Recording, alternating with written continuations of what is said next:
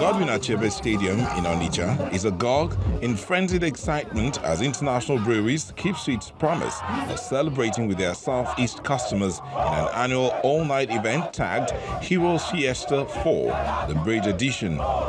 Fans gather to relish the exciting evening as great vibes hit the air.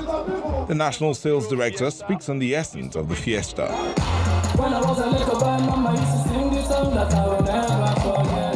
The essence of Hero Fiesta is to bring some level of excitement um, for our consumers and also to reward them. We want to say thank you to the Eastern people.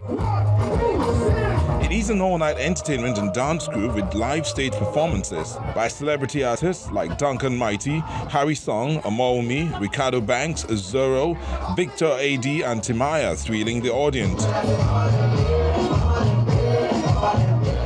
The day that thousands of fans you know, join us to support the brand Hero, a brand they've come to love, a brand they've come to have a lot of loyalty to, and we are so proud to be here today.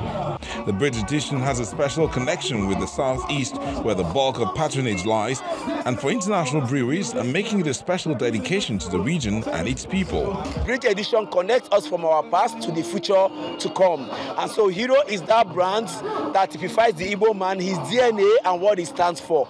The Hero brand comes with quality, but more importantly, it has job creating capacity too. Hero has given many people in Nigeria, uh, no matter in which region and which area, jobs to sustain their own self in their day-to-day living community.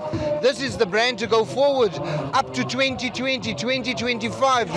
The goodness of the night is not limited to the drinking experience.